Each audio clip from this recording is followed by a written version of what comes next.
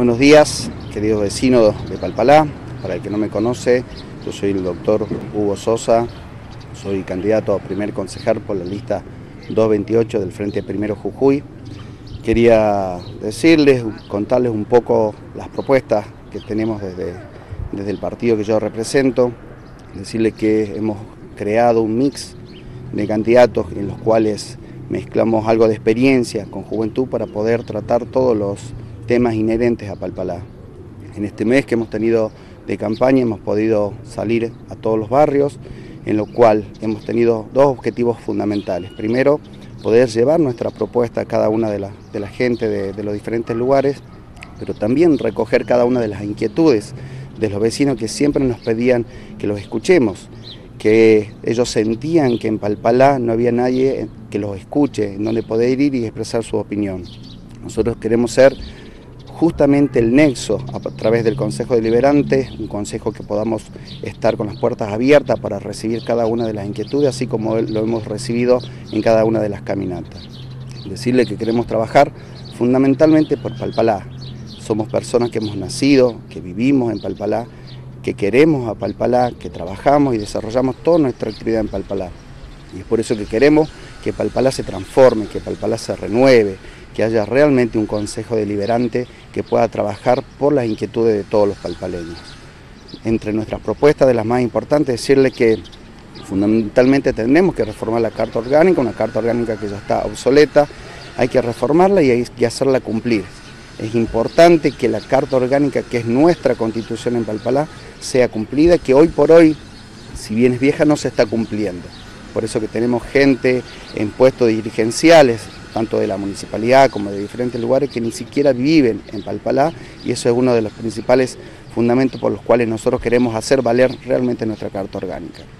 Creo que tenemos que trabajar muchísimo en Palpalá por diferentes aspectos. No podemos descuidar la salud, si bien sabemos que es resorte del Ministerio de Salud, pero creo que desde Palpalá nosotros podemos colaborar para mejorar las condiciones de salud en las cuales vivimos descentralizar el hospital, hoy vamos a parar todo a una guardia, una guardia que está colapsada, que muchas veces no puede abastecer todas las necesidades de los palpaleños y es por eso que tenemos que trabajar muchísimo en prevención en cada uno de los barrios para evitar que la gente se enferme y que llegue a consultar. Tenemos que trabajar en educación también, creo que es importante que se pueda crear tanto dentro de lo que es el Consejo Deliberante, de la Municipalidad en algún momento, alguien que pueda hacer un nexo entre eh, el Ministerio de Educación, entre los diferentes establecimientos y también el municipio y el, y el Consejo Deliberante.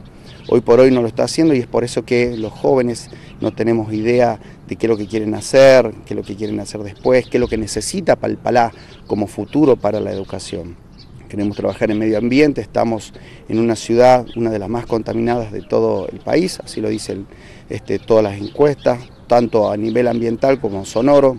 Queremos eh, tratar el tema de, la contaminación tanto ambiental como la contaminación sonora. Eh, nosotros siempre decimos que queremos ser una oposición coherente, con madurez política en el Consejo Deliberante en el cual podamos apoyar todos aquellos proyectos que realmente sean importantes, sean de interés para, Palpalá, pero también queremos ser una oposición firme, sobre todo en aquellos aspectos impositivos en los cuales se ha venido incrementando muchísimo, que han sufrido muchísimos comerciantes, muchas pequeñas y medianas empresas. Imposible que nosotros podamos tener trabajo genuino en un lugar como Palpalá si es que no tenemos una reglamentación impositiva acorde. Nadie va a venir a invertir en Palpalá si no tiene este, medios eh, impositivos eficaces para que pueda desarrollar su, empresa. Palpalá es una ciudad que se ha caracterizado siempre por ser madre de industria. Hoy Alto Horno Zapla ya ha dejado de ser lo que era en su momento, pero quedan en Palpalá muchísimas empresas pequeñas de metal mecánica. Creo que nosotros deberíamos empezar a darle más fuerzas y traer mayor inversión. Sé que ha estado viniendo mucha gente de Buenos Aires a averiguar cómo está la situación de la metal mecánica porque es la que puede darle un proyecto tanto para el litio que va a venir a instalarse en Palpalá eh, como para diferentes otras empresas privadas. Pero ¿qué pasa? Muchas de las empresas chicas no tienen hoy la, la calidad que se necesita. Muchas no, están, no tienen un sistema de calificación adecuada. Este, creo que nosotros tenemos que fortalecer la UIP, la Unión Industrial de Palpalá, para que pueda todas estas empresas pequeñas unirse y a partir de ahí ver de hacer todos los trámites necesarios para que hagan la certificación de calidad y que todos en conjunta puedan abastecer a, cada una de las empresas, como por ejemplo la del litio. Si cada una de ellas trabaja sola, en forma independiente, es imposible que pueda brindarle todo lo necesario para, abastecer a estas empresas. Pero si las juntamos, yo creo que va a ser una fuente de trabajo importante, genuina, sobre todo en un lugar como Palpalá, para que podamos llevar más fuente de trabajo, sobre todo a los jóvenes que están saliendo de diferentes lugares, como por ejemplo la escuela técnica. Yo los invito a que participen. Eh, la democracia es un derecho que no hemos ganado absolutamente todo. Yo creo que la mejor manera de hacer valer nuestro derecho es este 22 yendo a votar. Si no le gusta nuestra propuesta, creo que hay en Palpalá tenemos una diversidad de propuestas que son interesantes, de diferentes ángulos.